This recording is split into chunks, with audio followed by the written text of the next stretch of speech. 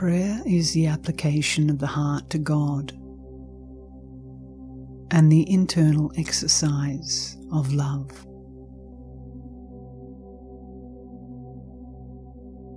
It is by prayer alone that we are brought into this presence and maintained in it without interruption.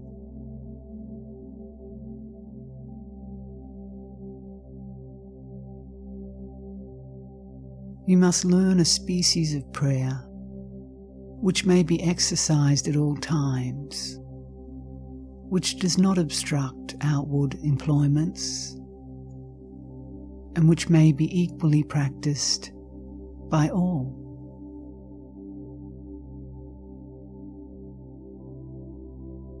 It cannot be the prayer of the head, but of the heart.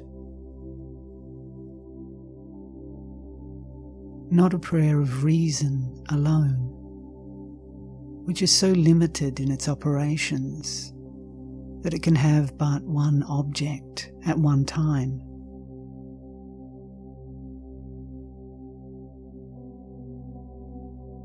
But the prayer of the heart is not interrupted by the exercises of reason.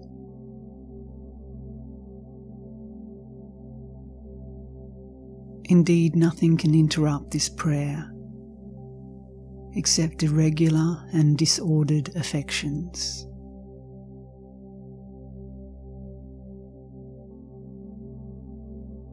And when once we have tasted of God and the sweetness of this love, we shall find it impossible to relish anything but this.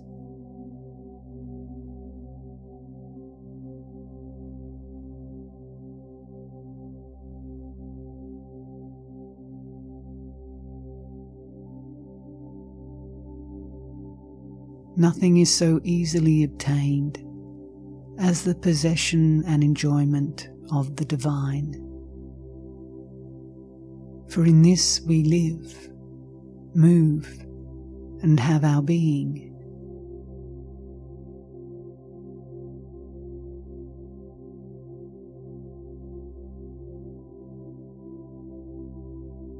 Though you think yourselves ever so stupid, dull, and incapable of sublime attainments, yet by prayer you may live in God Himself with less difficulty or interruption than you live in the vital air.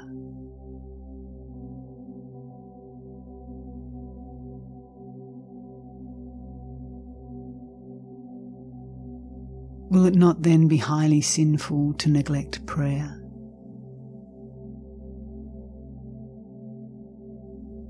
But this I trust you will not, when you have learnt the method which is exceedingly easy.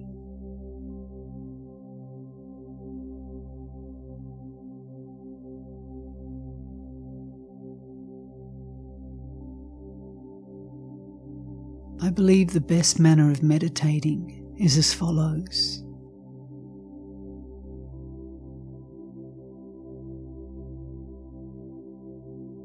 When by an act of lively faith you are placed in the presence of God. Recollect some truth wherein there is substance and food.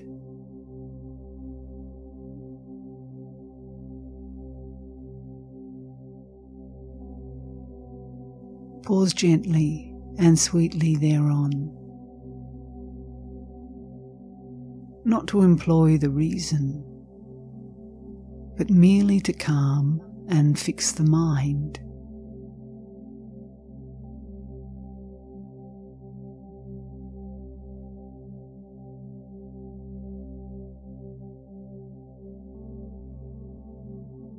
For you must observe that your principal exercise should ever be the presence of God.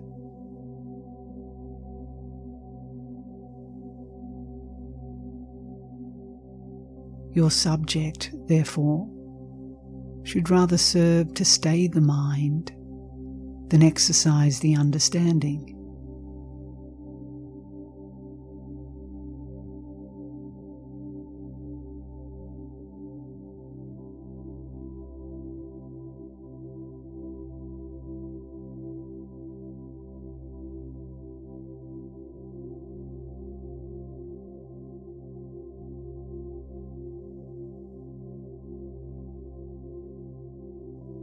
From this procedure, it will necessarily follow that the lively faith in a God immediately present in our inmost soul will produce an eager and vehement pressing inwardly into ourselves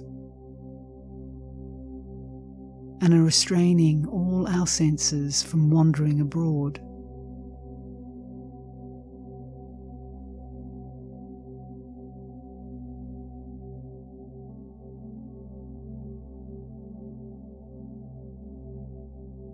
This serves to extricate us speedily from numberless distractions.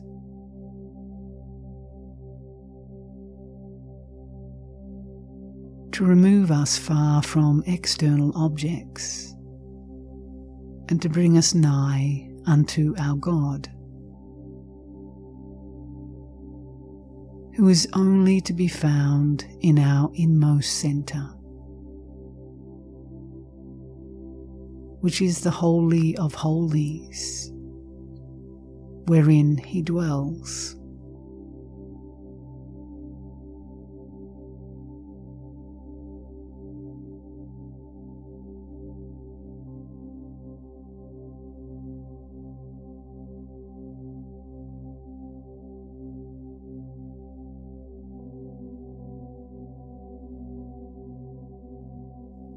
When we are thus fully introverted and warmly penetrated throughout with a living sense of the divine presence.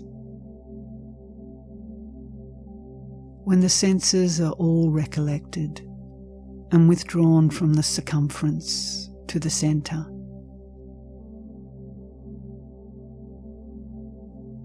And the soul is sweetly and silently employed on the truths we have read not in reasoning, but in feeding thereon, and in animating the will by affection, rather than fatiguing the understanding by study. When the affections are in this state, no matter how difficult it may appear at first, we must allow them sweetly to repose and peacefully to drink in that of which they have tasted.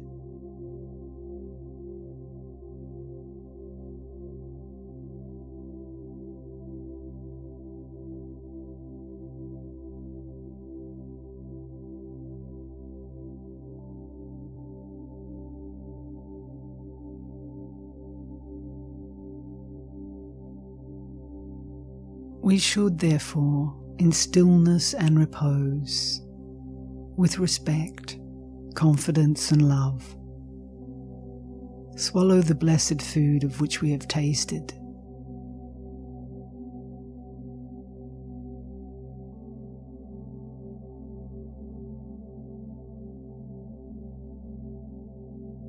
This method is indeed highly necessary and will advance the soul farther in a short time than any other in a course of years.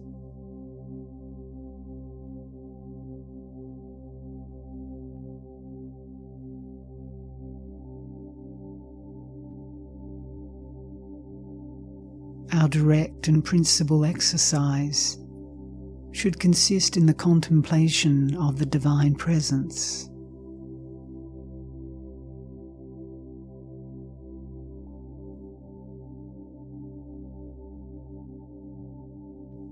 We should be exceedingly watchful and diligent in recalling our dissipated senses as the most easy method of overcoming distractions.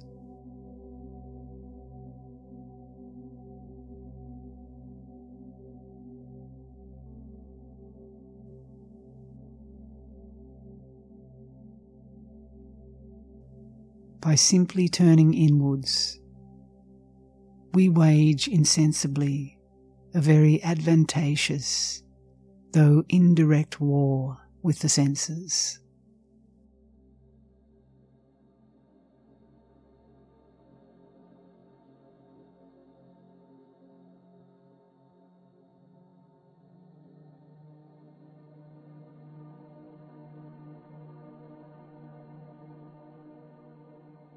Though recollection is difficult in the beginning, because the habit the soul has acquired of being always from home. Once it becomes a little accustomed to it, it will soon be rendered perfectly easy and become delightful. Such is the experimental taste and sense of his presence.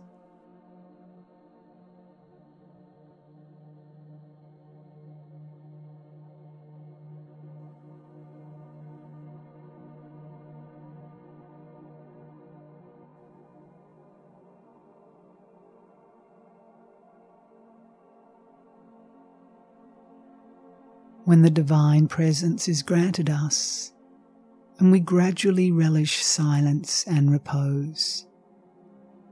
This experimental feeling and taste of the presence of God introduces the soul into the second degree of prayer, which is attainable as well by the illiterate as the learned.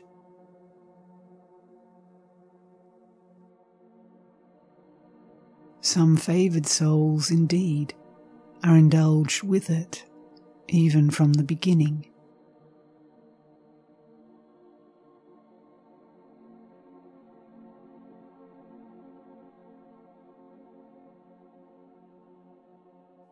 When the soul has been for some time exercised in the presence, it finds that it is gradually enabled to approach God with facility.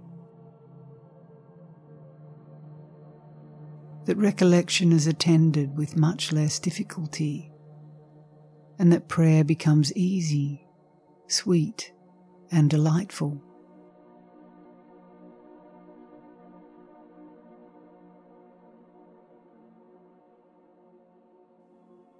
But the method must now be altered, and that which I prescribe should be followed with courage and fidelity without being disturbed by the difficulties we may encounter.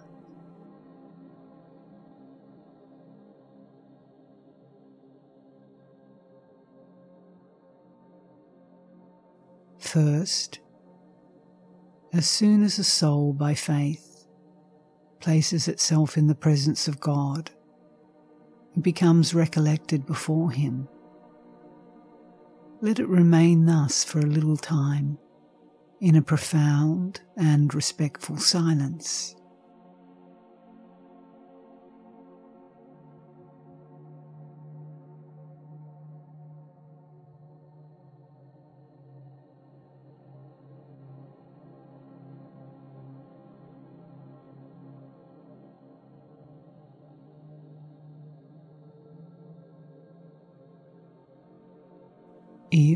At the beginning, informing the act of faith. You feel some little pleasing sense of the divine presence. Remain there without being troubled for a subject.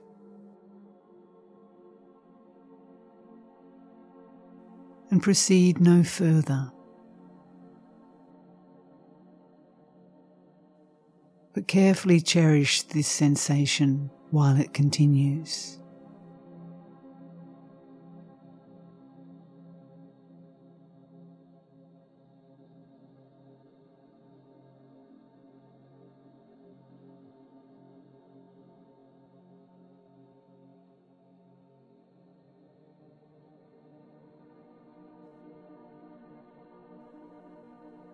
As soon as it abates, the will may be excited by some tender affection. And if by the first moving thereof it finds itself reinstated in sweet peace, let it there remain.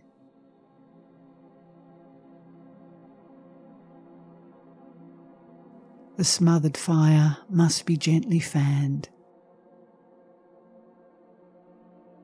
But as soon as it is kindled, we must cease that effort, lest we extinguish it by our own activity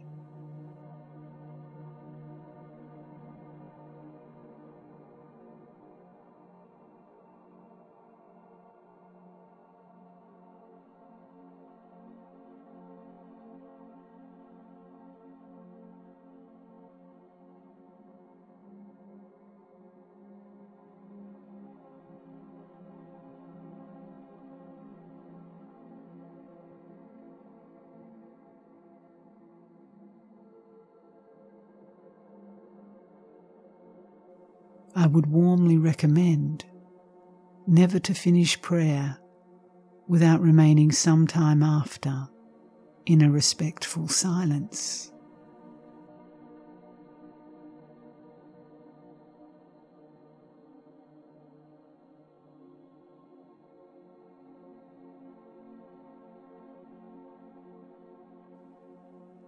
It is also of the greatest importance for the soul to go to prayer with courage and such a pure and disinterested love as seeks nothing from God but the ability to please Him and to do His will.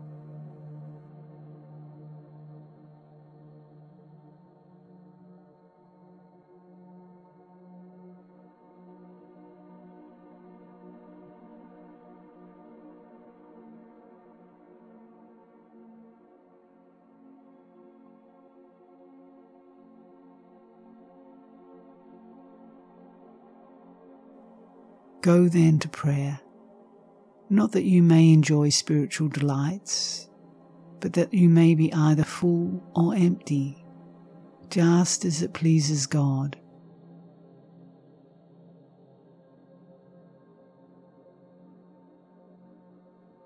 This will preserve you in an evenness of spirit, in desertion as well as in consolation. And prevent your being surprised at aridity or the apparent repulses of God.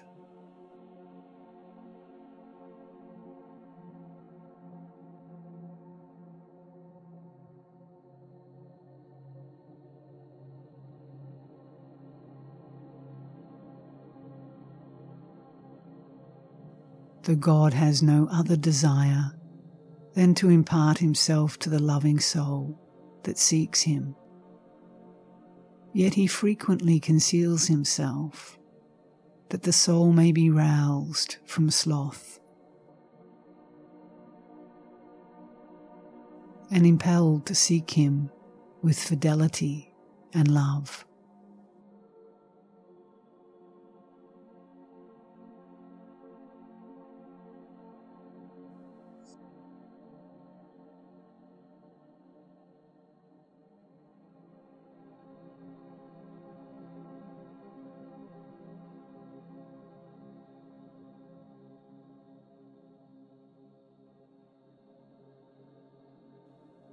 I conjure you, my dearly beloved, who sincerely wish to give up yourselves to God, that after you have made the donation, you will not snatch yourselves back again.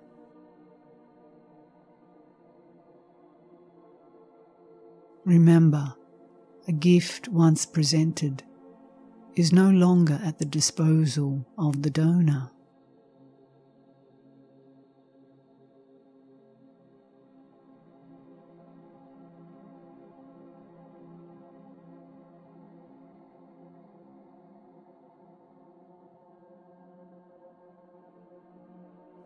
Abandonment is a matter of the greatest importance in our process.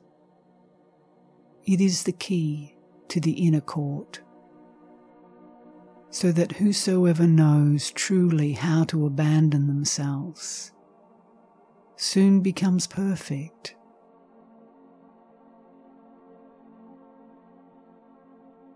We must therefore continue steadfast and immovable, and not listen to the voice of natural reason.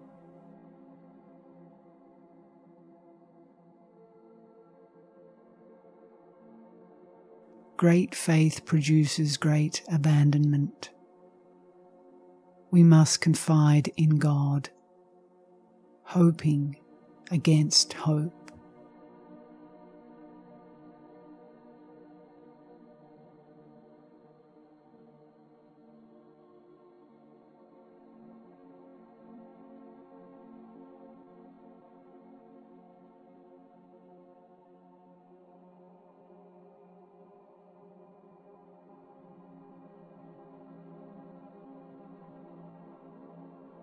Abandonment is the casting off of all selfish care, that we may be altogether at the divine disposal.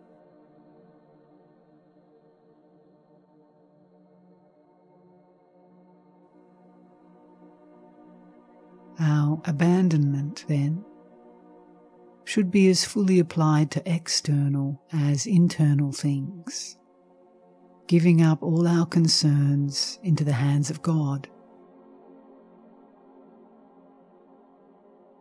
Forgetting ourselves and thinking only of Him, by which the heart will remain always disengaged, free, and at peace.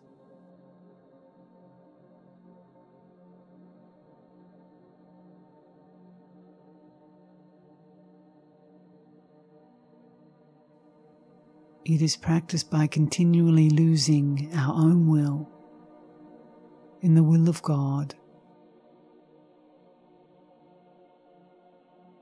by renouncing every particular inclination as soon as it arises, however good it may appear, that we may stand in indifference with respect to ourselves.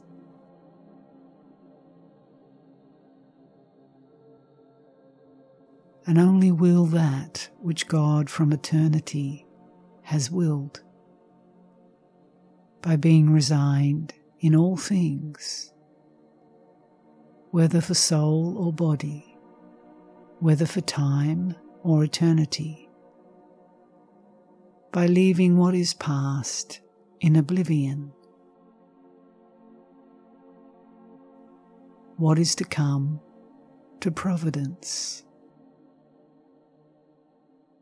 and devoting the present moment to God,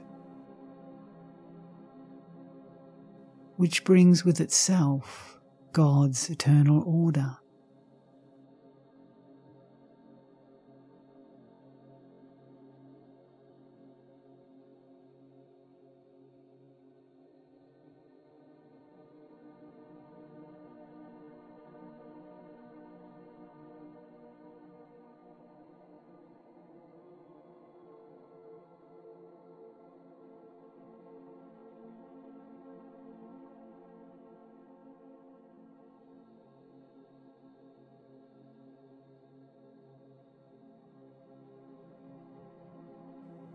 God has an attractive virtue which draws the soul more and more powerfully to Himself the nearer it approaches towards Him.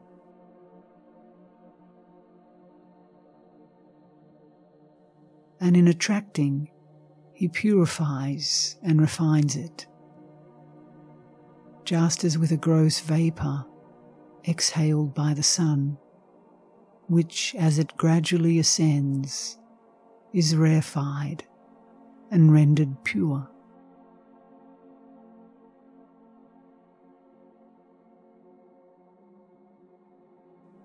The vapour indeed contributes to its exhalation only by its passiveness, but the soul cooperates with the attractions of God by a free and affectionate correspondence.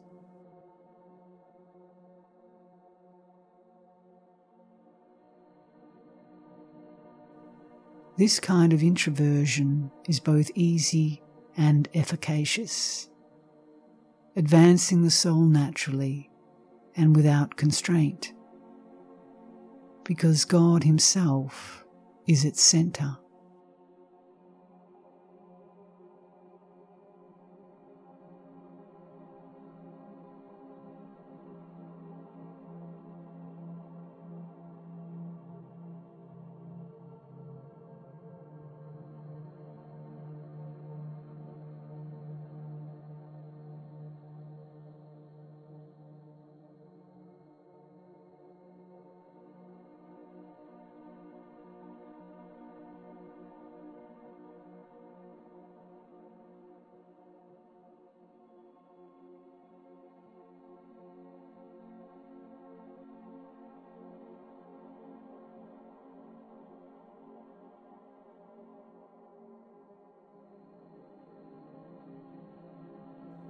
Every centre has a powerfully attractive virtue, and the more pure and exalted it is, the stronger and more irresistible are its attractions.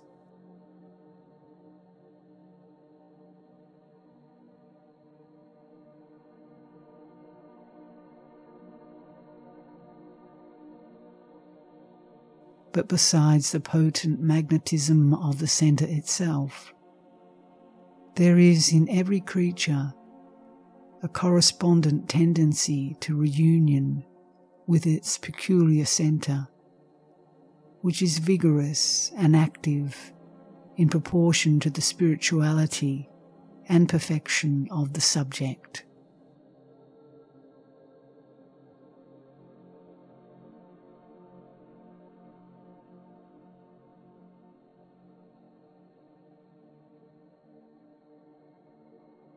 As soon as anything is turned towards its centre, its own gravitation instigates and accelerates it thereto.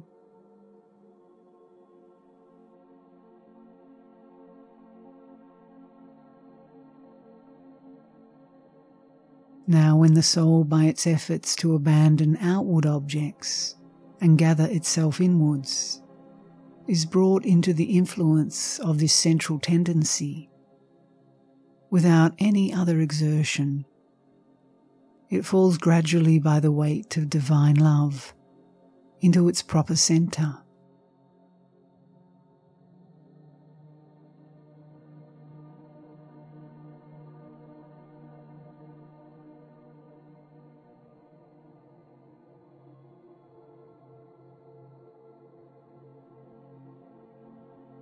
And the more passive and tranquil it remains, and the freer from self motion and self exertion, the more rapidly it advances. Because the energy of the central attractive virtue is unobstructed and has full liberty for action.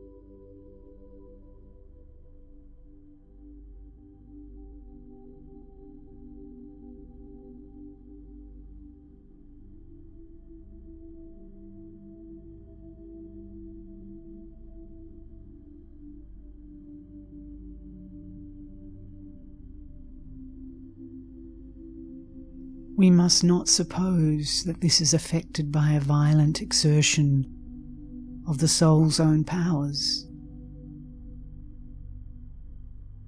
for it is not capable of, nor should it attempt any other cooperation with divine grace than that of endeavouring to withdraw itself from external objects and to turn inwards after which it has nothing farther to do than to continue steadfast in adherence to God.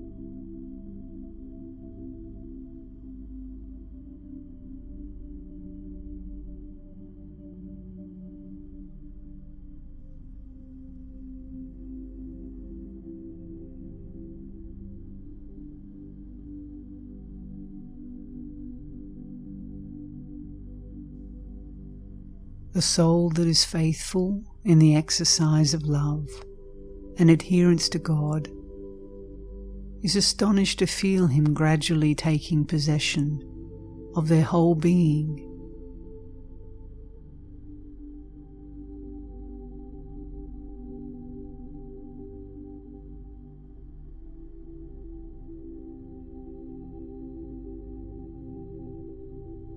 Enjoys a continual sense of that presence, which has become, as it were, natural to it.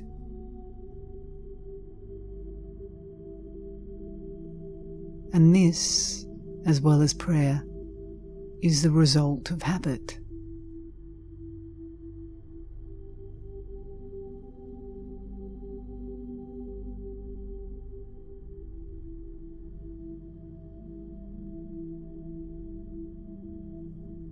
The soul feels an unusual serenity gradually being diffused throughout all its faculties.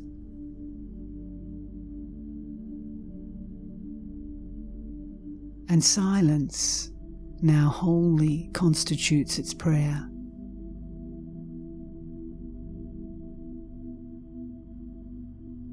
Whilst God communicates an intuitive love, which is the beginning of ineffable blessedness.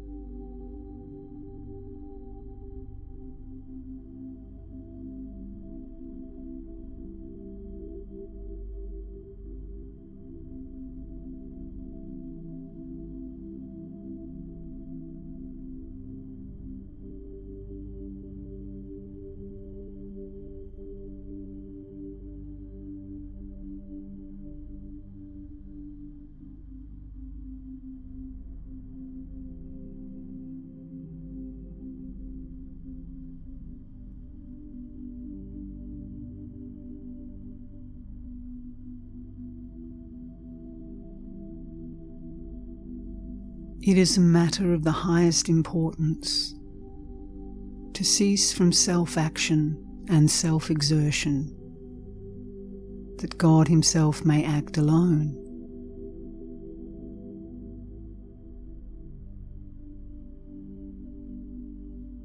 Be still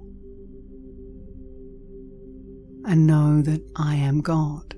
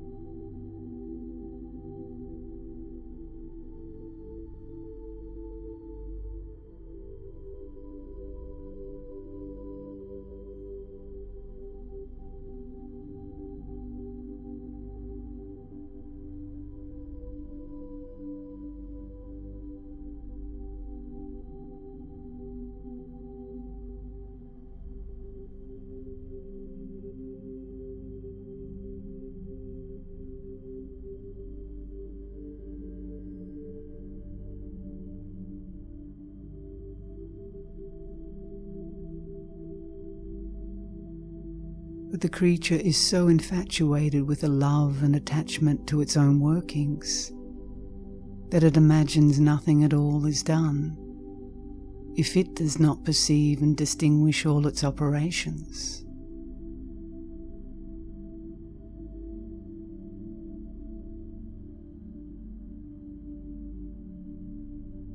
It is ignorant that its inability minutely to observe the manner of its motion is occasioned by the swiftness of its progress, and that the operations of God, in extending and diffusing their influence, absorb those of the creature.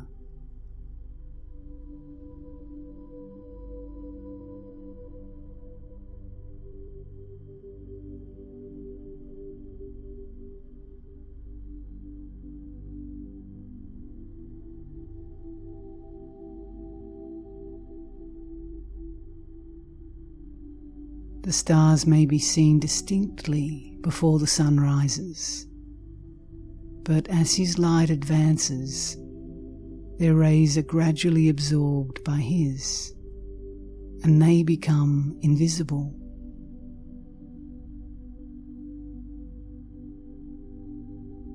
Not from the want of light in themselves, but from the superior effulgence of the chief luminary.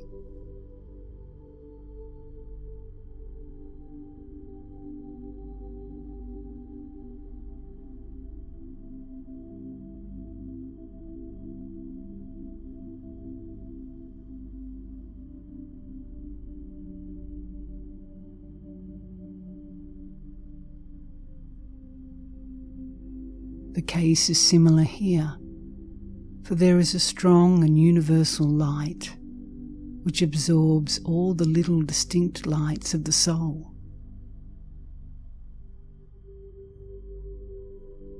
They grow faint and disappear under its powerful influence, and self activity is now no longer distinguishable.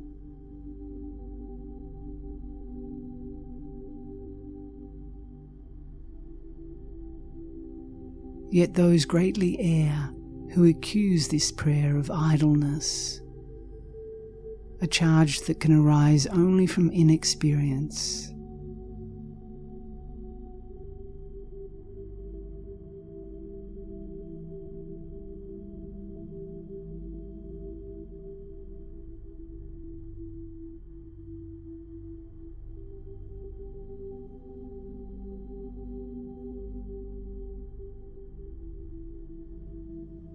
This appearance of inaction is indeed not the consequence of sterility and want, but of fruitfulness and abundance, which will be clearly perceived by the experienced soul.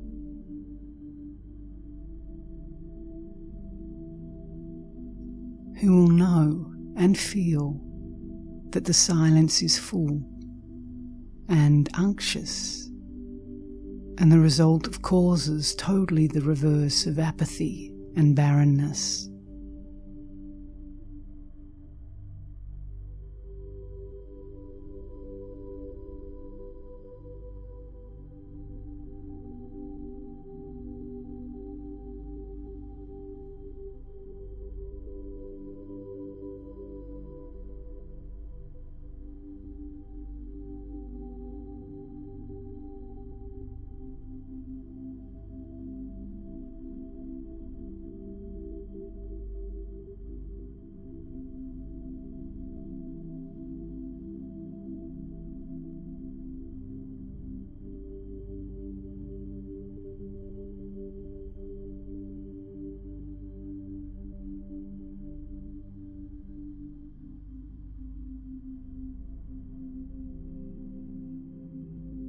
There are two kinds of people that keep silence. The ones because they have nothing to say, the other because they have too much.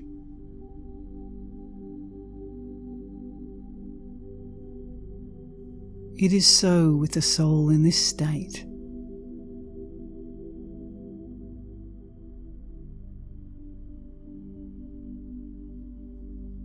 The silence is occasioned by the superabundance of matter, too great for utterance.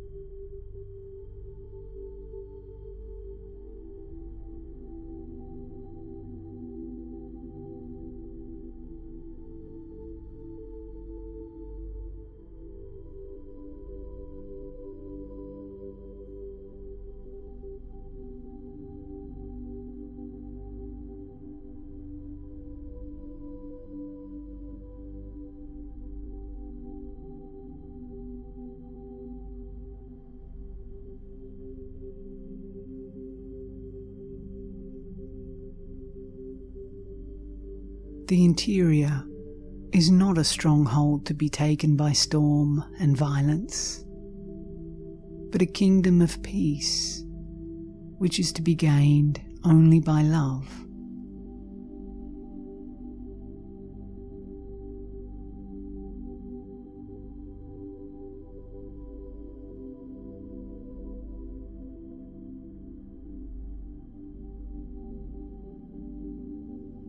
If any will thus pursue the little path I have pointed out, this path will lead you to intuitive prayer.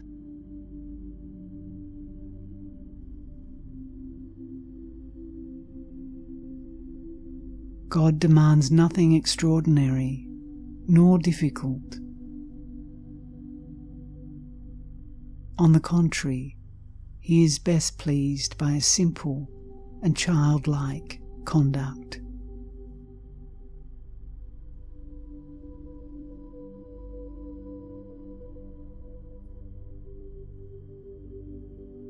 That which is most sublime and elevated in religion is the easiest attained.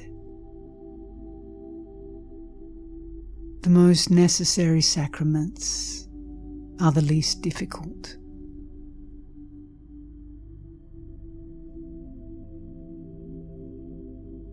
It is thus also in natural things. If you would go to sea, embark on a river, and you will be conveyed to it insensibly and without exertion.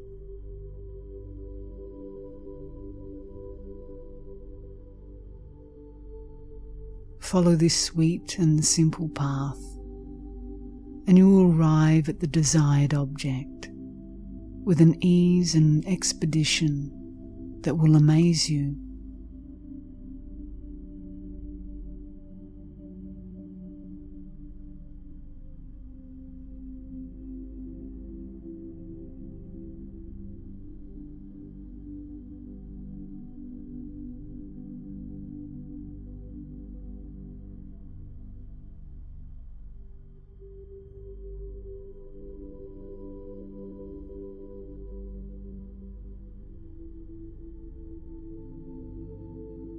It is fear that prevents you from instantly casting yourself into those arms of love, which were widely extended on the cross, only to receive you.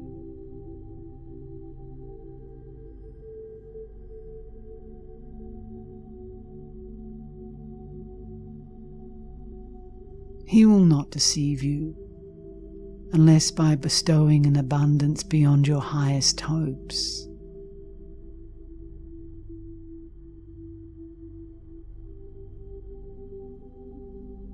But those who expect all from themselves will inevitably be deceived.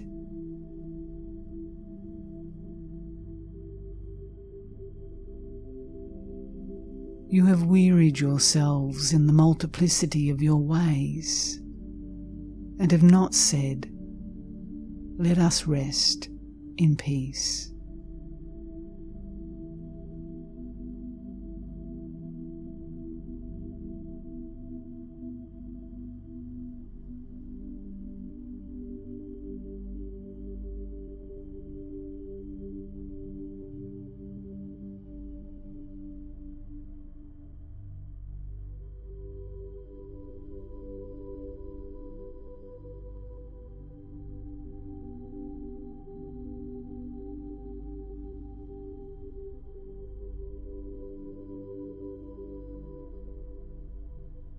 The soul advanced thus far has no need of any other preparation than its quietude.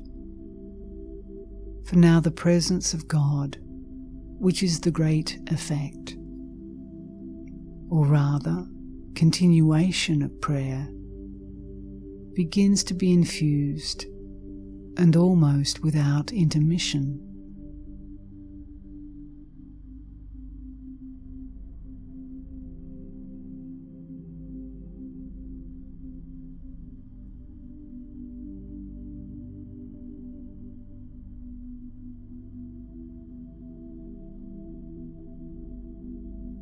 The soul enjoys transcendent blessedness and feels that it no longer lives, but that Christ liveth in it. And that the only way to find him is introversion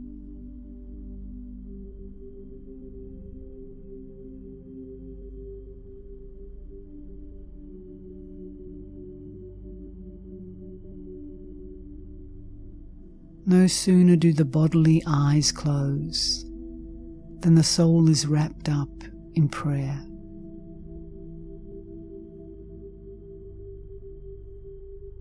It is amazed at so great a blessing and enjoys an internal converse which external matters cannot interrupt.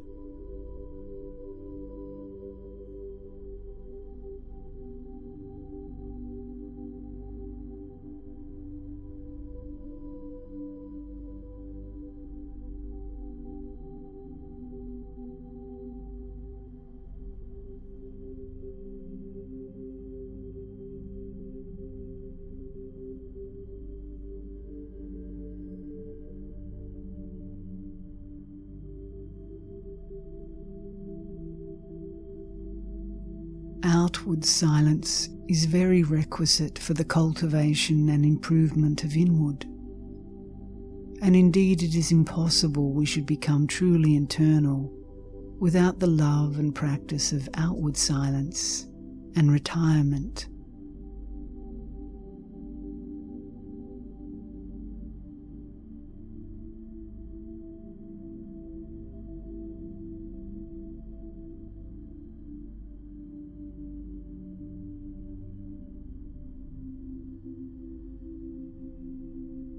God said by the mouth of his prophet, I will lead her into solitude, and there will I speak to her heart.